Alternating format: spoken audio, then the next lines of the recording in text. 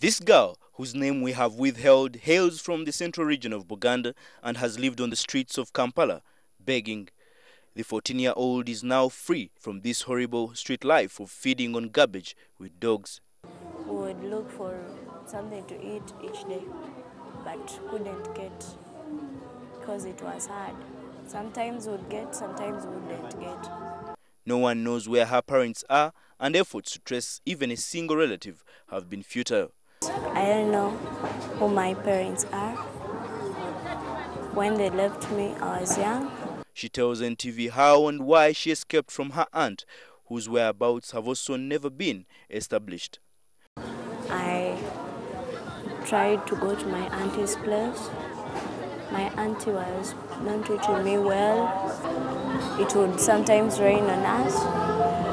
She is now a senior one student in one of the prominent schools in Kampala under the support of one of the non-government organizations. Forced by her aunt to go begging on the streets of Kampala, another girl who hails from Karamoja region tells NTV how she was sexually harassed. Every day I go to street for begging.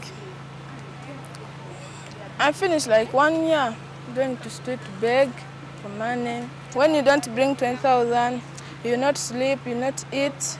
Any day a man come and said me, can I give you 2,000 go, I, I want to sleep with you?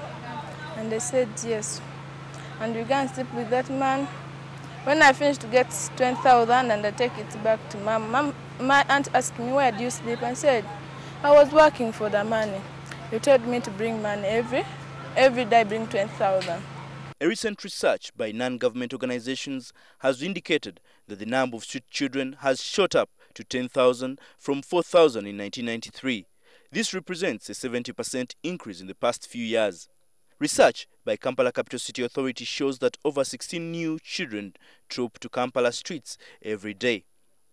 The report also says there are 200 street children in Soroti, 216 in Mbale, 97 in Jinja, and that 80% of these children are from the Karamoja sub-region of Napak. But we have been told that the dynamics of why the, uh, this, uh, this issue is the same. Actually, it ranges back from way back, but it's accelerated right now because the disarmament process, that's how we've been explained, that the disarmament process that took place um, recently, like left the people from Napak region uh, uh, defenseless because we, we, we are meant to be told that the people from Napak district were the first people to hand over voluntarily their guns.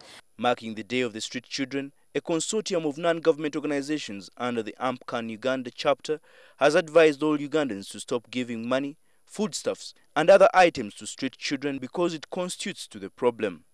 Is, is becoming harmful, is keeping children on the street, then it is dangerous. It's a harmful practice that needs to be discouraged.